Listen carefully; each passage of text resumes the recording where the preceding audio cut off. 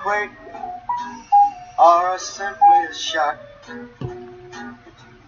Is it the good turtle soup oh, or merely the mock?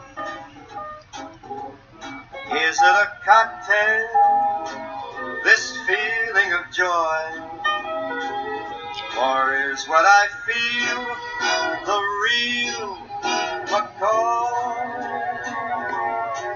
Is it for time or simply a lark? Is it Granada I see or only Asbury Park? Is it a fancy not worth thinking of? Or is it at long last love? Is it an earthquake or simply a shock? Is it the good turtle soup or is it merely the mock? Is it a cocktail, this feeling of joy? Or is what I feel the real McCoy?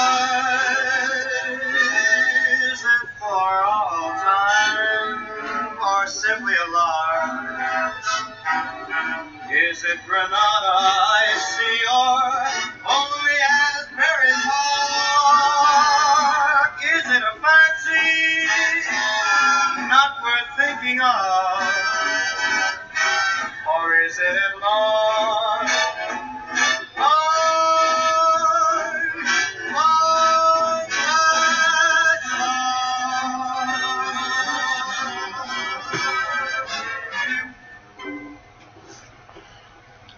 Hello there, everyone. Mark the Pipe Poet. well, I'm making this video because uh,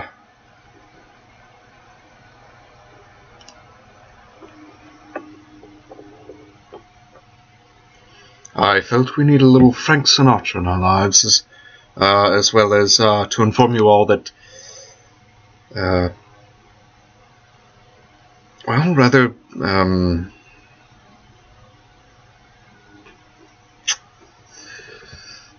rather impulsively, I guess one could say. Uh,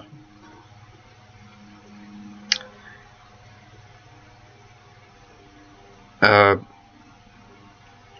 I found something uh, I've been meaning to try, and uh, it was Grant Grindle. So here's a shout out to you, sir, um, who actually suggested that I try his local. Uh, at least I think it's your local.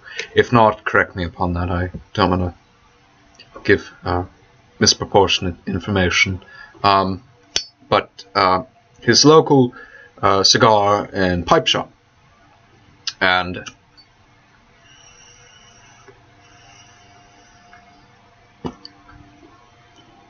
so I was looking around on there, and uh, I I didn't order the Academy from Sutliff.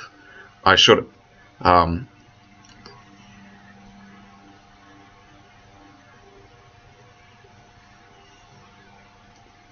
instead, something else caught my attention. So I ordered that pipe tobacco instead, and to be honest, it will be the very first time that I try a blend of this uh, type and of this brand. So I was looking around at the pipes as well, and uh, I found a pipe that I absolutely, positively, could not, for the life of me, pass up. So I bought it.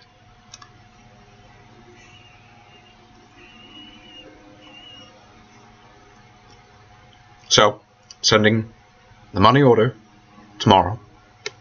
Um, and I'm like a little school kid who's uh, anxious about Christmas and so on and so forth and whatnot. So, um,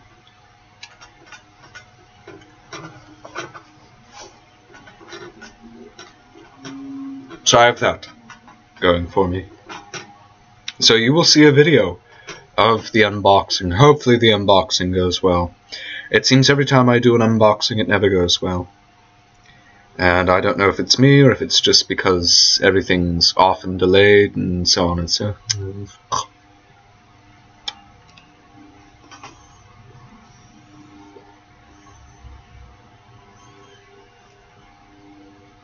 But, um,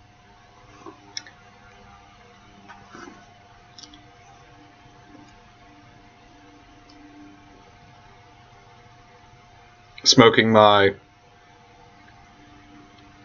English Estate Bulldog with Smoker's Pride Vanilla Cavendish.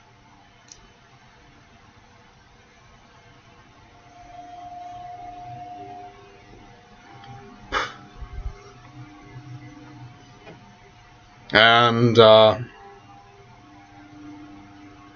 I was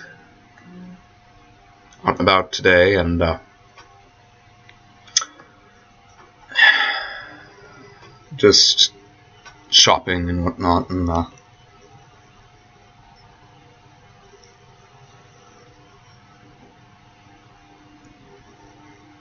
I found now many of you people are not well, many of you probably are um, if you're aware of uh, the old old old old Sherlock Holmes uh, movies starring Basil Rathbone, which took place in the 30s and 40s, which were not uh, actually situated in the uh, original stories themselves. Instead, they were contexted around World War II.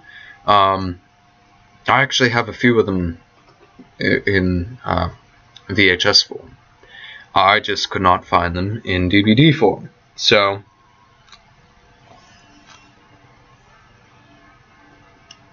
old holy smoking pipe padre. Here's Basil Rathbone for you. Um, and uh, possibly when this pipe comes in, I might have to do something similar to uh,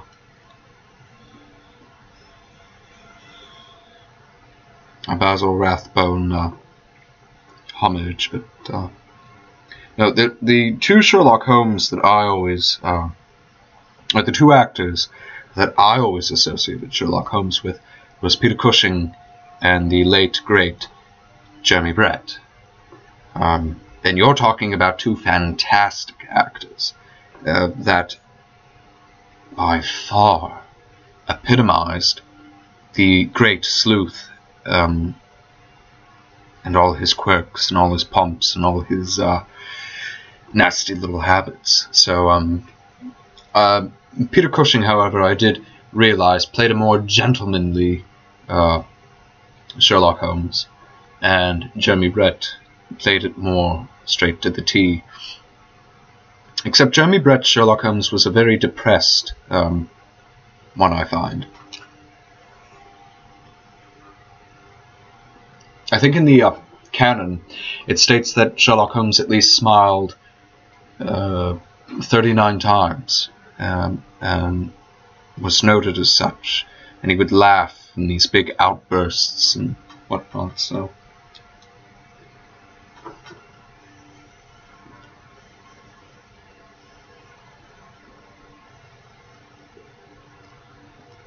But I own the uh, DVD collections for both the Peter Cushing and the uh, Jeremy Brett. And those are some of my most prized possessions. So. Aside my pipes, of course. And my books. So.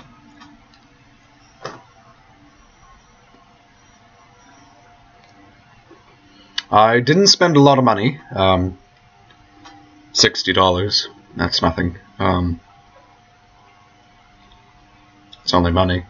Make more of it every day. Print more of it every day. Uh, Excuse me.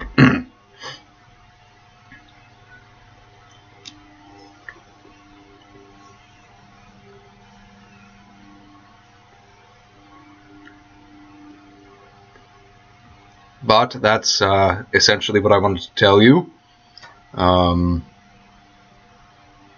so stay tuned for that. Uh, I think I did remarkably well this time. Remarkably well. So, smoke and be happy and enjoy yourselves because that is what life is all about.